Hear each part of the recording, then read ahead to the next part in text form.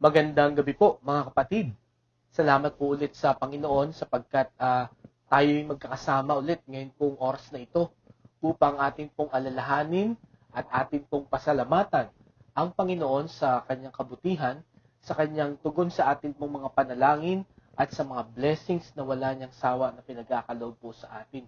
Gayun din po, tayo po ay nagpapasalamat ulit sa pagkakataong ito na tayo po ay makapag-aral ng kanyang salita at maipanalangin natin ang mga pangailangan ng bawat isa. Nawa bawat isa sa oras na ito ay patuloy na nararanasan ang kalakasan at kagalingan ng Panginoon. Nawa ay uh, patuloy po nating panalangin ang mga kapatiran natin, mga manggagawa na may karamdaman sa oras na ito at salamat sa Panginoon sa patuloy na pagbibigay ng Panginoon ng lakas at uh, kagalingan sa bawat isa.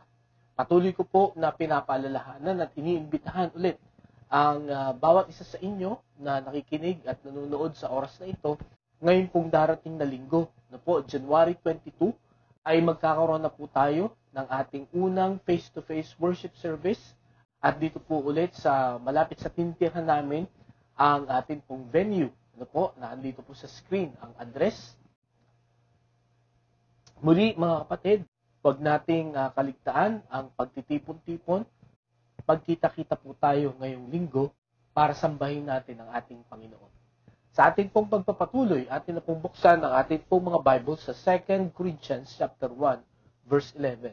2 Corinthians chapter 1 verse 11, ang sabi po dito, As you help us by your prayers, then many will give thanks on our behalf for the gracious favor granted us in answer to the prayers of many.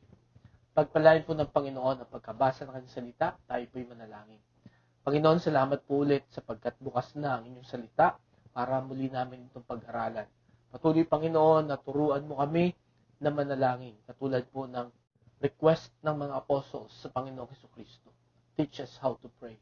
Kaya Panginoon, sa gabing ito, sa aming pagtalakay ulit ng uh, sulat na ito ni Apostol Pablo sa mga taga-Korinto. Tulungan mo po kami na mas maging malalim pa ang aming pangunawa sa panalangin at mas lalo kaming manalangin at tumawag, Panginoon, sa inyo. Kaya, Panginoon, samahan mo na kami sa aming pag-aaral ngayong gabi ito. Ito aming dalangin sa pangalan ni Jesus. Amen. Noon pong uh, ah, 1993 ay meron pong uh, inirelease na isang album. Ito pong isa sa mga mga awit dito sa atin sa Pilipinas. Ano po? At isa po sa mga awitin dun sa album na yon ay ang pamagat ay sa bayan ni Juan. Ano po? At ang awitin pong ito ay naglalarawan ng isa sa mga magagandang ugali nating pong mga Pilipino. Ito pong tinatawag na bayanihan. Ano po? Ang bayanihan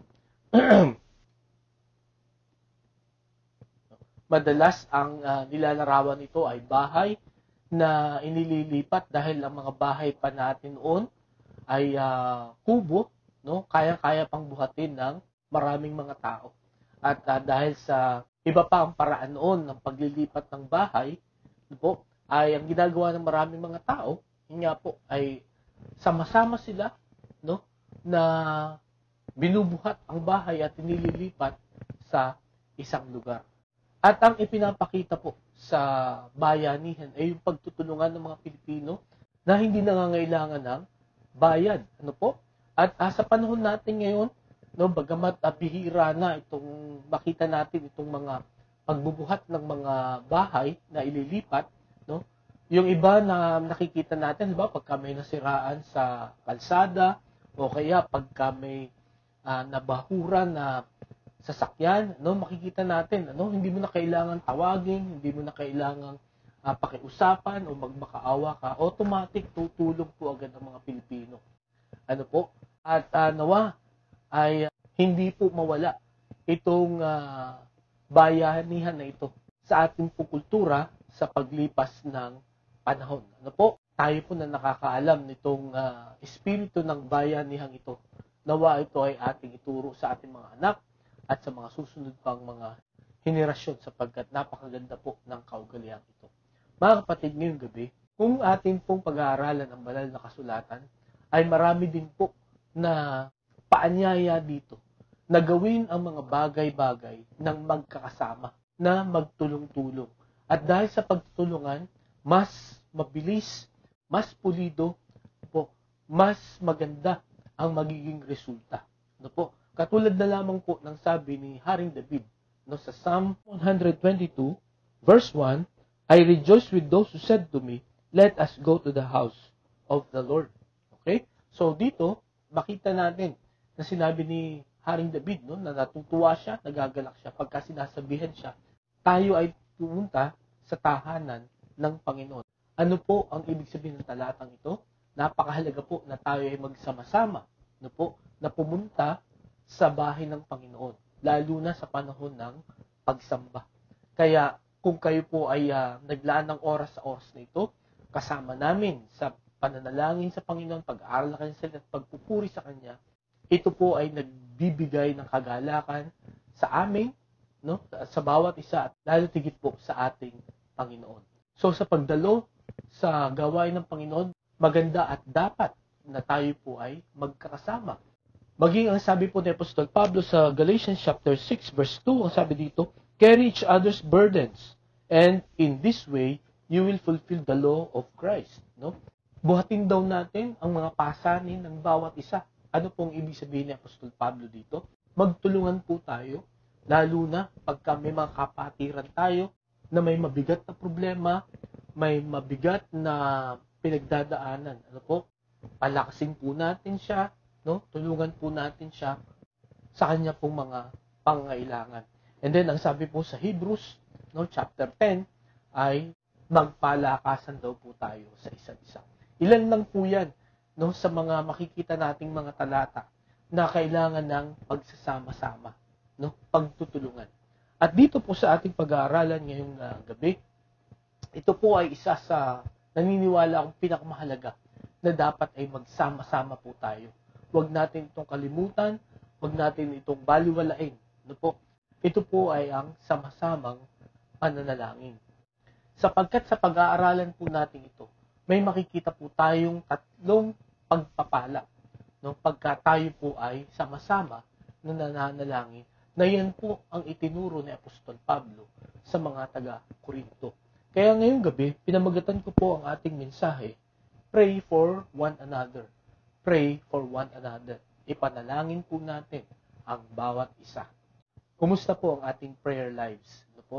Sino po ang inyong mga pinapanalangin? Bukod po sa inyong pong mga sarili, bukod po sa inyong mga kahilingan sa Panginoon, meron po ba kayo na iba pang mga tao, iba pang mga grupo na pinapanalangin? Ngayong gabi mga kapatid, makikita natin kung gaano kahalaga at ano ang mga pagpapala na matatanggap natin when we pray for one another.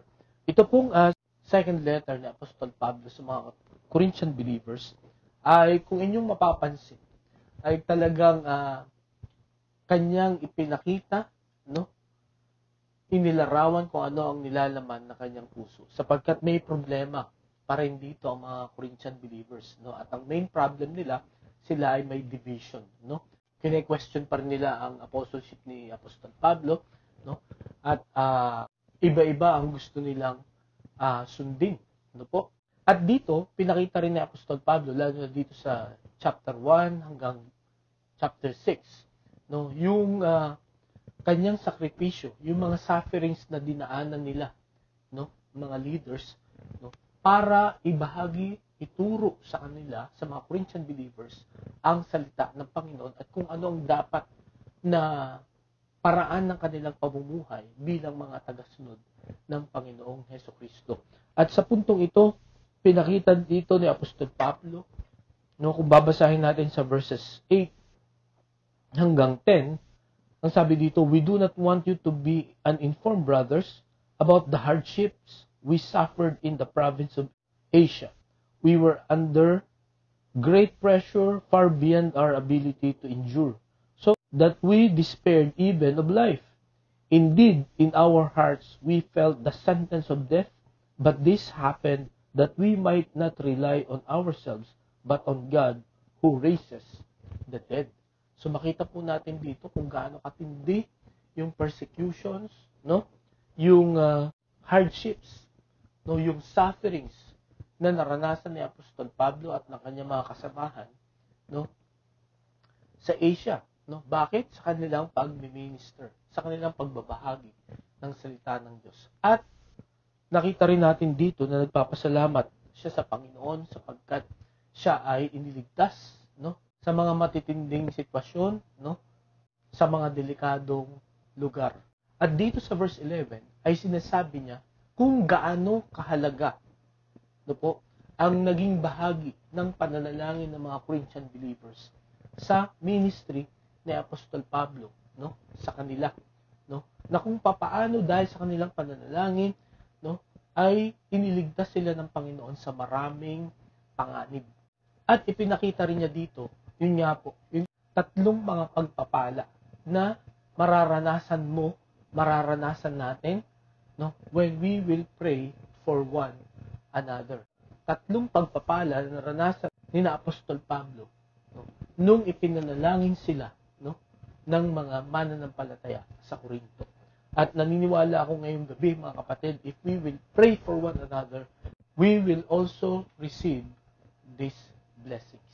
Okay? So, ang una na makikita po natin dito, when we pray for one another, it strengthens others that suffer. No? It strengthens others that suffer. Pinapalakas nito yung iba na nakakaranas ng kahirapan.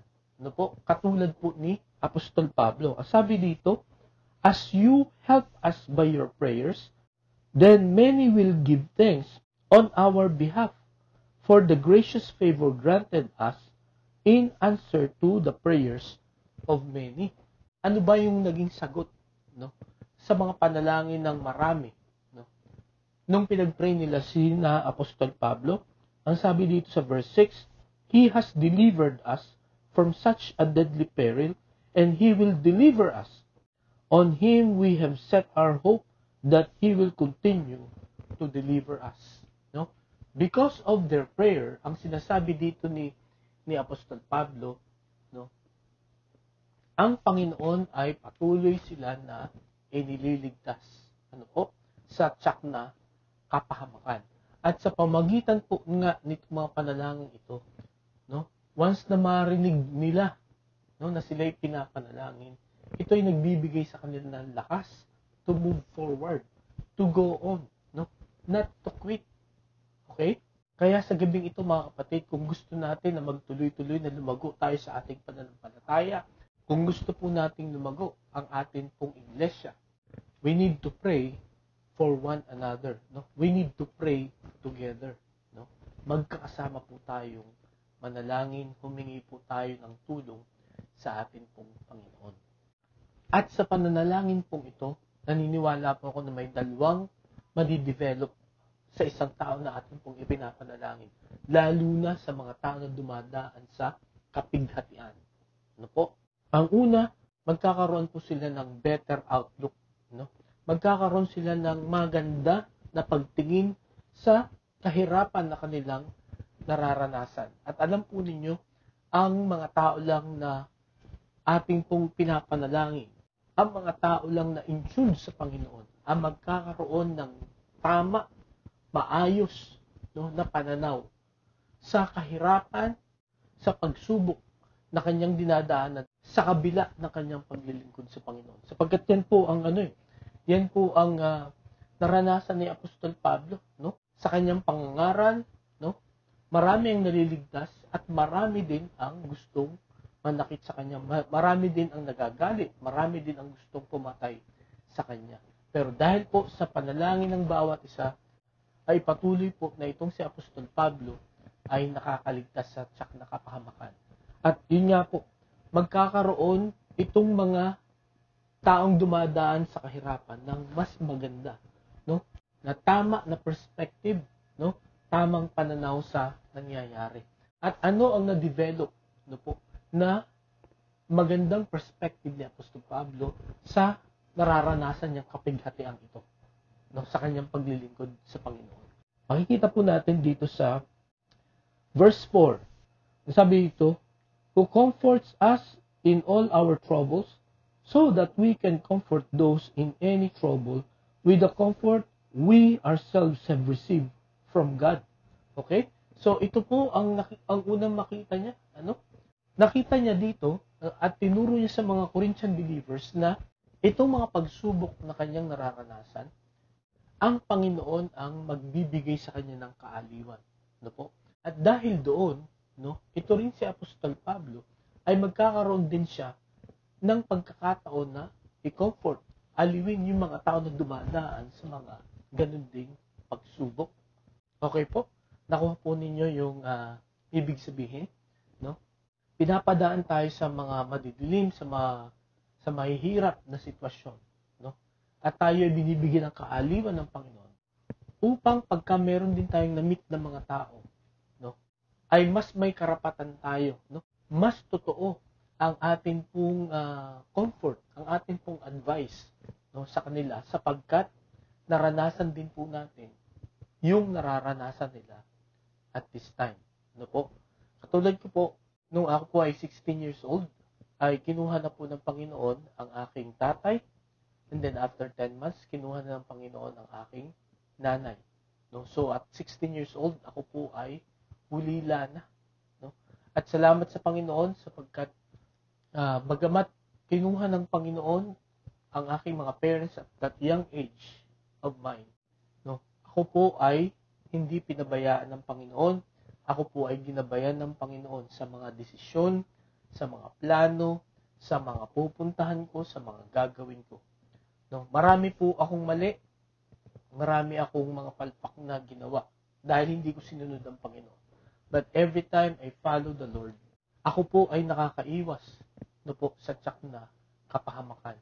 At salamat sa mga mananampalataya, sa mga pastors, at maging sa aking family no po, na talagang hindi sila nagsawa na ako'y ipanalangin, ako ay gabayan. No po? At sundin ko kung ano ang kalooban ng Diyos sa akin pong buhay. At dahil po sa nangyaring yun, no, pagka ako ay may namit na isang tao na namatayan ng magulang, no, meron po akong authority, no, buhat sa Panginoon, na bigyan siya ng kaaliwan, na dapat kailangan magtiwala sa Panginoon. Di po ba? So, many times hindi po talaga natin maintindihan bakit tayo pinapadaan ng Panginoon sa mga kabiguan, no po, sa karamdaman, sa pangangailangan. No po. Ngunit, kung tayo po ay magtitiwala sa Panginoon at kung lagi nating ipapanalangin ang bawat isa, lalo na yung dumadaan sa ganung mga pagsubok, magkakaroon po ng better outlook or better perspective ang bawat isa, lalo tigit po yung dumadanas ng suffering. At yan po ang naranasan ni Apostol Pablo. At sa gabing ito, kung nararanasan mo rin ang mga paghihirap, na po, ang karamdaman, ang matinding pangangailangan, huwag po kayong mahiya na mag-request ng group prayer, no? Sapagat sa pamagitan nito, ipapaliwanag sa atin, no? Ipapaunawa sa atin ng Panginoon kung ano ang dahilan bakit tayo dumadaan po dito. And because of that, no, tayo po ay magpapatuloy sa gawain ng Panginoon. Okay po? So yun po ang una na madidevelop para maging malakas ang isang taong dumadaan sa pagsubok. No? He will have a better outlook. And then, pangalawa, hindi lang better outlook but brighter outcome. No? Magkakaroon siya ng mas maliwanag no? na resulta ng kanyang suffering kung pupuntahan po natin ang uh, 2 Corinthians chapter 4 verses 17 and 18, ipinaliwanag po dito ni Apostol Pablo kung gaano katindi yung suffering na nararanasan nila. Pero, ano ang mangyayari after? Ano ang sabi dito sa verse 17 and 18? For our light and momentary troubles are achieving for us an eternal glory that far outweighs them all. So we fix our eyes not on what is seen, but on what is unseen. For what is seen is temporary, but what is unseen is eternal. Ang sabi niya, itong itong kahirapan naming nararanasan, saglit lang ito. No? At hindi mo ito pwede ikumpara sa kalwalhatian na matatanggap na, namin after this. Okay? At itong kahirapang ito, ito yung kahirap, kahirapang nararanasan nila kanilang pagsunod sa utos ng Panginoon. Okay? At ang sabi dito, Kaya ang focus ng mga mata namin ay hindi yung mga temporary na bagay, no? kundi ang aming tinitingnan, ang nagbibigay ng inspirasyon sa amin, ng encouragement sa amin, na magpatuloy sa kabila ng kahirapang ito, ay yung mga bagay na hindi pa namin nakikita. Okay? At ang mga bagay na yun, yun yung kalwalhatian, yung gantimpala na ipagkakaloob ng Panginoon sa bawat mananampalataya no, na magtatapat sa Kanya sa kabila ng maraming pagsubok, no, na patuloy na maglilingkod sa Kanya sa kabila ng maraming hamon na nararanasan. So, ito po ang dalawang dahilan kung bakit lalakas no, ang isang tao na dumadanas ng pagsubok o kahirapan sa kanyang buhay. Magkakaroon po siya ng better outlook at brighter outcome. Okay po? At ganun din tayo mga kapatid, if we will ask prayers kung tayo po ay nakakaranas ng kabigatan sa gabing ito, no? If we will ask group prayers, no? At tayo mga kapatid, when somebody is asking for prayers, no? Let us pray right away, no? Marami tayong mga kapatiran na may karamdaman, mga manggagawa na may karamdaman. Meron tayong mga kakilala, no, na mabigat ang mga pinagdadaanan sa buhay? Nawa wag tayong mag-atubili, no? Wag tayong wag nating ipagpaliban, no? Ipag-pray agad natin. Yan po ang aking uh, ginagawa, no? Pagka may na-receive po ako ng mensahe sa Messenger na please pray for this guy, for this person, he needs this, he needs that, no? Tumitigil po muna ako kung ano man ang ginagawa ko at ipinagpe-pray ko po siya agad. Kasi kung sasabihin ko na, ah, mamaya na lang sa prayer meeting o kaya uh, mamaya na lang pagka, mamaya na lang gabi bago ako matulog ipagpe-prep siya. Madalas, nalilimutan ko na po yun. Kaya, right away, pinagpe-pray ko po agad siya. So, nawa, ganun din po tayo, no? Pagka tayo nakatanggap ng prayer request, let us pray right away. Okay? So, ang blessing na matatanggap natin, no, when we pray for one another, is it strengthens others that suffer? So, pinapalakas nito no, yung mga tao na nakakaranas ng kahirapan. Hindi natin alam kung paano gagamitin ng Panginoon at kung paano sasagutin ng Panginoon ang ating pong mga panalangin. No po. But one thing is sure, no po, may gagawin ng Panginoon every time we pray. Okay? Ang pangalawa po na blessing na makikita natin when we pray for one another hindi lamang it strengthens others that suffer, but it solidifies relationships. No? Pinapatatag, pinapatibay po nito ang atin pong mga ugnayan, ang atin pong mga relationships. No? Meron pong kasabihan na the way to a man's heart is his stomach. Anong ibig sabihin? Para magustuhan ka daw ng isang lalaki o ng isang tao, ay pakainin mo. Yun ang ibig sabihin po nung uh, kasabihan iyon. Di po ba? At kung inyo pong mapapansin, ano, sa ating pong mga tao, basta tayo ay may pagtitipon-tipon, ano, basta tayo may gathering, no, basta magkita ang dalawang tao, hindi mawawala ang kainan. Kasi bahagi na yan ng ating pagsasama-sama. At yun nga po, minsan ang iniisip natin, para maging maganda, maging maayos ang ating samahan, laging may kainan dapat. No? Dapat merong material na bagay na ibibigay ka no, sa isang tao. Ngunit ang mga bagay pong ito ay temporary lamang. No? Pagka naubusan ka ng, ng pambigay, no, ay marahil yung iba ay mawawala na rin. Di po ba? Sapagkat ang mga material na bagay na ibinibigay natin o iniisip natin na magpapatibay ng ating relationship, no, ay temporary lamang. But when we pray, no, our relationships will be stronger. No? Our relationship will be solid.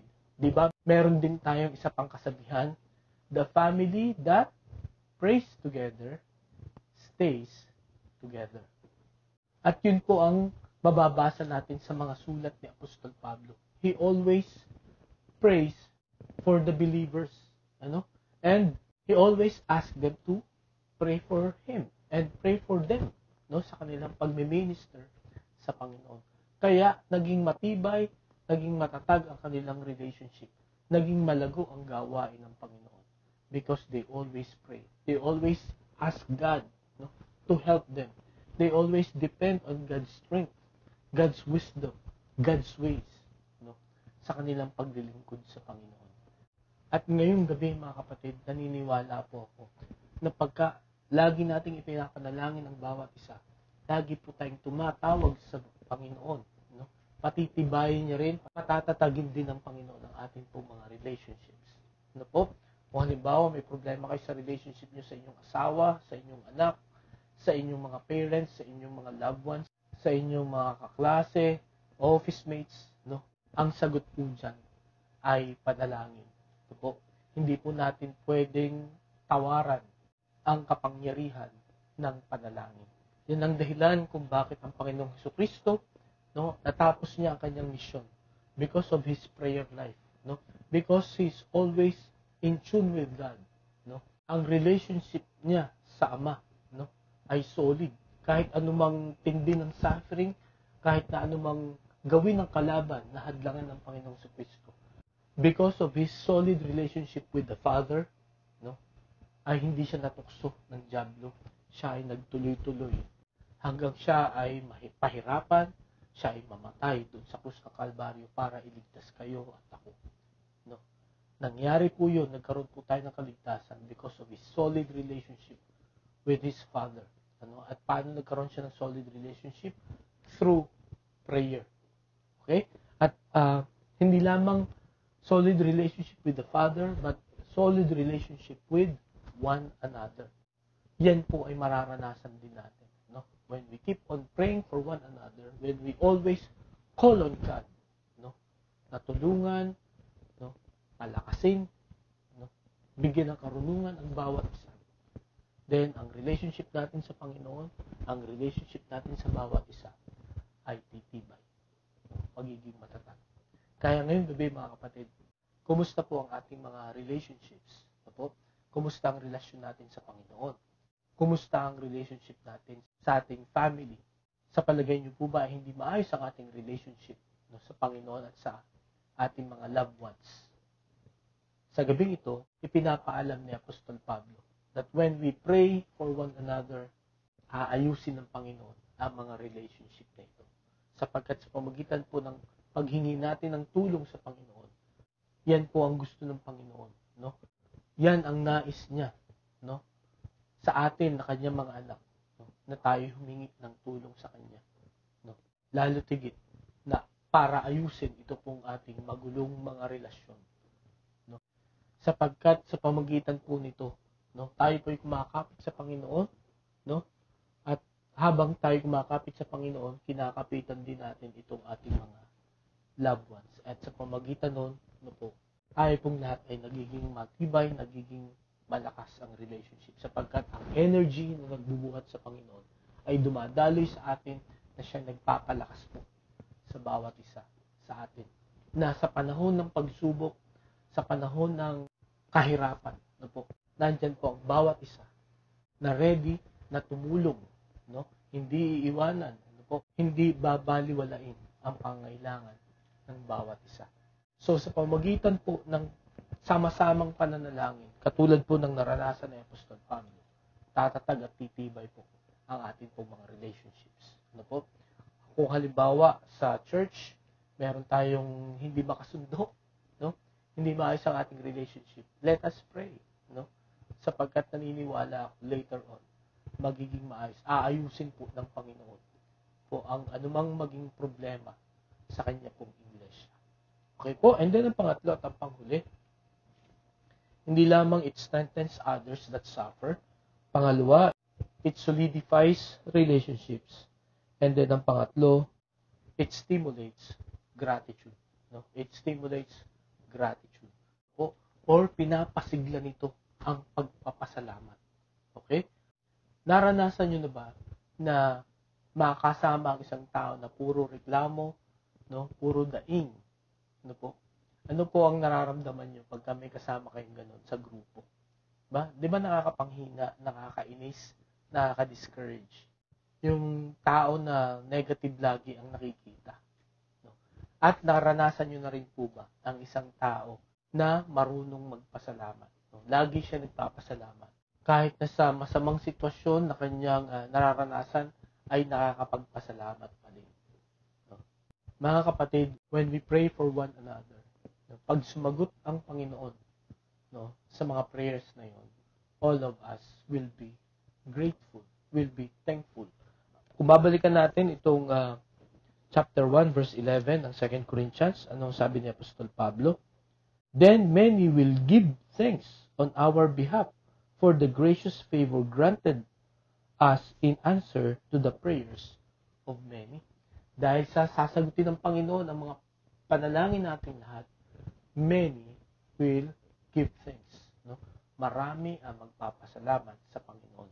Kumbaga sa testimony time, no, yung pagbabahagi ng mga pasasalamat, no, hindi mo na kailangang gumamit ng iba-ibang mga gimmick, no, para patayuin at magpasalamat sa Panginoon, no. Ang isa po sa hindi ko malilimutan dun sa pinagpastoran ko po dati, every prayer meeting, ano po, hindi mo na kailangang mamilit, no? Kundi basta sinabing, okay, it's testimony time. Sunod-sunod na po talaga. Ano? At uh, kumbaga kinokontrol na lang namin, ano? sapagkat kung papakinggan lahat, ay mauubos ang oras. Pero napakasarap pong pakinggan. Nakakapagpalakas po ng espiritu, no? nakakapagpagaan ng mabigat na pakiramdam every time na makakarinig po tayo ng pagpapasalamat sa Panginoon. Lalo na sa mga sagot ng Panginoon sa mga panalangin. Sapagat ang Panginoon po ay sasagot sa prayer. Pero tandaan natin, laging may tatlong sagot ang Panginoon. No? Alam natin yan, yes, no, and wait. So po, pagka kalooban ng Panginoon yung hinihingi natin, yes agad. Pero pag hindi niya kalooban at makakasama sa atin yung ating hinihingi, no ang sagot. No? Kaya pag nag-no ang Panginoon, dapat magpasalamat tayo dahil makakasama sa atin yung hinihingi natin. No, kung naalala niyo po ang prayer ni Elijah, ang prayer ni Elijah, patayin na siya ng Panginoon. At hindi siya sinagot ng Panginoon. No? Sa halip siya ay pinagpahinga. At yun nga, nakita natin, hindi pala plano ng Diyos na mamatay si Elijah. Ang paraan pala na pagpunta niya ng langit ay isang paraan na nakakamangha, no? Na dadalawang tao lang ang nakaranas, no, sa kasaysayan ng mankind, no? Pumunta siya directly sa langit with the chariots of fire. Di po ba? Kaya mga kapatid, huwag tayong magalit at magtampo sa Panginoon kung no ang kanyang sagot. At ang isa pang sagot niya ay wait, no? Marahil hindi pa natin kailangan, no? Marahil hindi pa tayo ready na tanggapin 'yon. Kaya let's always thank God no sa kung ano man ang kanyang sagot sapagkat ang sagot niya yes man yan no or wait yan po ay para sa ikakabuti natin kaya dapat po tayong magpasalamat when we pray for one another no when God answers ang sabi ni Apostol Pablo magpapasalamat ang marami mga kapatid ano ang mga sinagot na ng Panginoon sa atin gaano po tayo kadalas magpasalamat. No? Again, meron tayong awitin, ano, na count your blessings. No? Name them one tunay po no, na nakakapagpalakas, ano po, nagiging tama yung atin pong perspective when we count our blessings. Sapagkat makikita po natin doon na hindi tayo pinapabayaan ng Panginoon. No, sa kabila ng maraming mga pangangailangan, sa kabila ng mga kakulangan, ano po, ang Panginoon lagi pong nagpo-provide ng atin pong mga pangangailangan. Hindi niya po tayo gugutumin at hindi niya tayo hahayaan na mamalimos sa daan. When we keep on trusting, when we keep on asking the Lord sa lahat po ng ating pangangailangan. And when we pray for one another. Kaya ngayong gabi mga kapatid, ito ang tatlong blessings when we pray for one another. No? Ito ang tatlong blessings na makikita natin pagka tayo ay magsama-sama. No? Pagka hindi natin kinakaligtaan ang sama-samang pananalangin or ang prayer meeting. No? At ito po akin ding naobserbahan. No? Ang madalas na umaten ng mga prayer meeting ay yung mga seryoso na lumago ang kanilang mga spiritual na pamumuhay. Yung mga willing na sumunod sa Panginoon. No? Yung mga willing na makinig at sundin kung ano ang kalooban ng Panginoon. Po. Yun po ang mga umaattend ng prayer meeting. No? Kaya nga, madalas kung inyong mapapansin, kakaunti ang dumadalo sapagkat doon mo malalaman no, yung spiritual temperature no, ng inyong church no, pagdating po sa prayer meeting. No? Madalas ang mga makakasama mo dyan, yung mga leaders, yung core group mo, no? at yung mga nagnanais na lumago pa sa kanilang pananampalataya. Kaya mga kapatid, let's keep on praying for one another. No po. Huwag nating kaligtaan ang pagtitipon-tipon, no, ang ating pong pananambahan at maging ang pagsasama-sama natin sa panalangin. Sapagkat kung ito po ay ating gagawin, no, may tatlong blessings tayong matatanggap, no. It will strengthen others that suffer, no. It will solidify our relationships and it will stimulate gratitude. Tayo po'y manalangin. Panginoon, salamat po sa paalaala mo sa amin. Tulungan mo kami na huwag kaligtaan ang pagtitipon. Huwag tamarin sa sa masamang pananalangin sapagkat katulad po ng naranasan ni Apostol Pablo at kanyang itinuro sa mga Christian believers, may tatlong blessing na matatanggap. At ang mga pagpapalang ito ay napakahalaga na maunawaan namin at maging bahagi ng aming pong buhay. Sapagkat itong mga bagay na ito ang kailangan namin para harapin, para malampasan ang mga pagsubok ng buhay. Nalain ko po na huwag kaming mapagod na manalangin at ipanalangin ang bawat isa sapagkat ito po ang inyong pong kalooban sa bawat isa sa amin. Salamat po sa inyong salita. Pagpalaan niyo ito sa bawat puso ng bawat isa na nakarinig ngayong gabi ito. Aming dalangin sa pangalan ni Jesus. Amen. Maraming salamat po ulit sa inyong pakikinig. Patuloy po na pagpalain tayo ng Panginoon at magandang gabi sa bawat isa.